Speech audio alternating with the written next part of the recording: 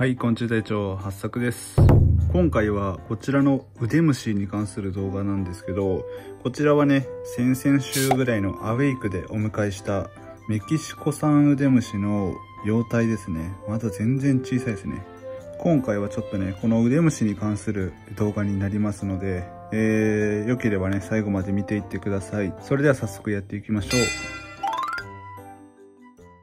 はいまずね飼育環境としてはこちらのねちょっと高さのあるプリンカップ使ってます。で今撮ってるんですけどこちらのね、えー、樹皮マットを隠れ家代わりに入れています。でサイズはねこのくらいです。全然小さいですねまだまだ。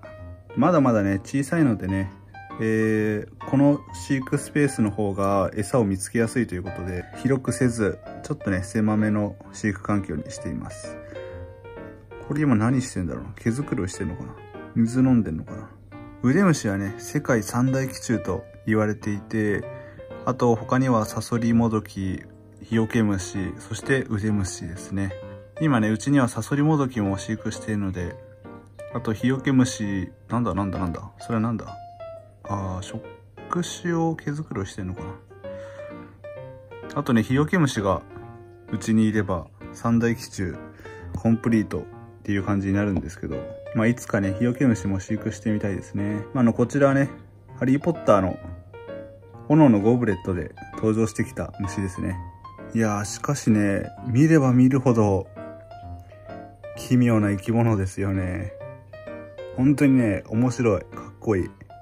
で、今回ね、こちらの腕虫が餌のレッドローチをね、食べるシーンを撮影することができましたので、ちょっとね、今回そちらをご覧ください。どうぞ。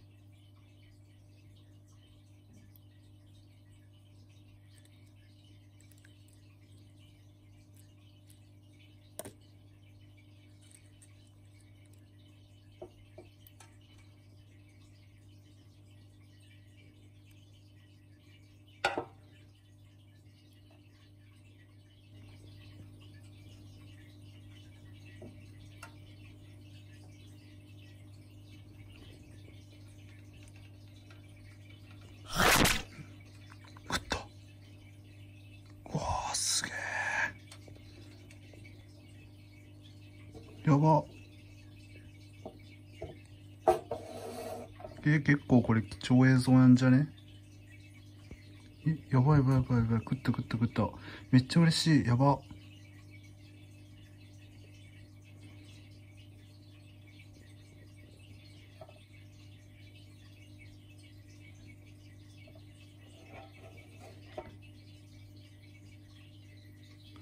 腕虫食べたよ、ゴキブリを。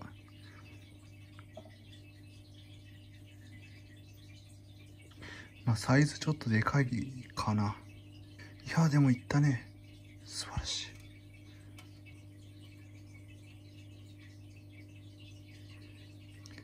かっこいいなやべえ腕虫。はい、というわけでね、えー、ご覧いただけたかと思うんですけど、やっぱね、このサイズなので、あのサイズのレッドローチでもちょっとね、大きいんですよね。なんでちょっと食べるか心配だったんですけど、見事ね、えー、捕食してくれました。結構ね、時間をかけて食べていましたね。やっぱちょっと大きかったのか。腕虫ってね、多分ね、ほぼね、目が見えてないと思うんですよね。なんでこの長い触手を使って、えー、周囲をね、捜索して餌を探したりするっていうやり方ですね。サソリモドキとね、似てますね。やっぱ多分光が苦手なんでしょうね。こうやって光を当てると隠れようとしますね。現地ではね、えー、洞窟とか石と石の隙間とかにね、隠れているらしいです。幼体なのでね、まだハサミの部分はちょっとね、赤いんですけど、どんどんね、成長するごとにつれて黒くなっていきます。まだまだね、ちょっと幼体なので気は抜けないんですけど、まあね、あの、うちに来て餌を食べてくれることが分かったので、まあ、まずは一安心というところですね。これからね、どんどん餌を食べて、えー、脱皮して、立派なね、生態になってくれればいいなっていうふうに思っています。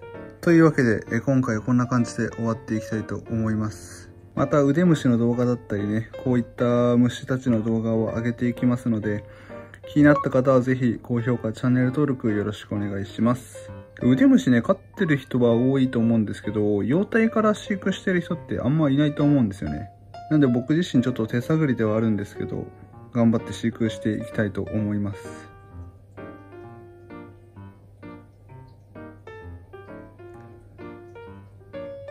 それではまた次の動画でお会いしましょう。またね。